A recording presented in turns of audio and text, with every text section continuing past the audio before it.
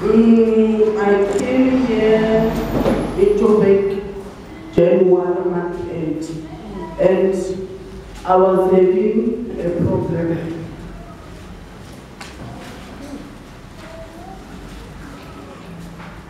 And My problem is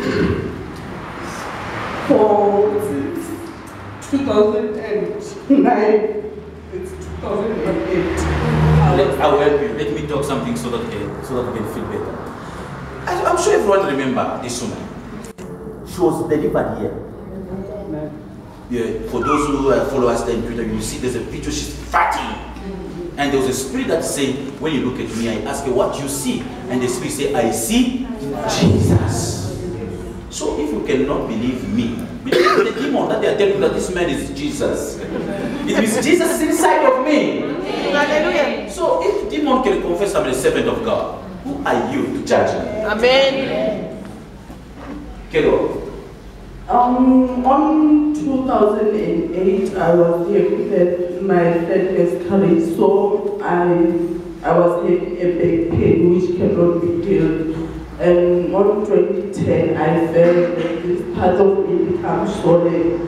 And I was having a terrible pain. I can't even stand or stand up. Even my legs were itchy. So I came here and the prophet prayed for me. And now, seeing I this place which was late, it's, it's now it's okay now.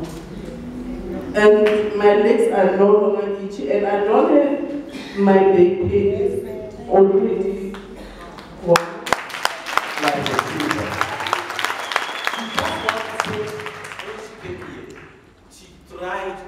Find uh, what solution about what she was facing. But there was no help.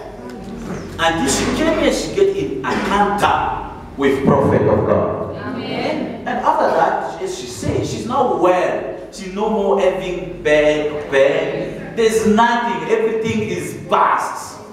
Everything has become what? The past. Want your situation to change, come here. We'll make your situation to become the past, to bring a new situation. God bless you.